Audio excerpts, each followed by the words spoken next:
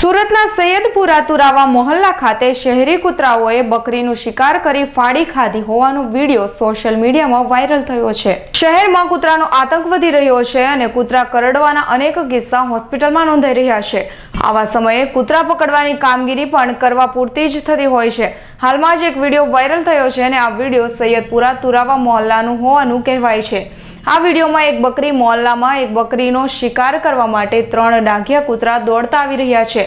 આ કૂતરાના શકંજામાંથી એક બકરી તો બચી જાય છે, પણ ત્રણ કૂતરા બીજી બકરીનો શિકાર કરીને લઈ જાય છે.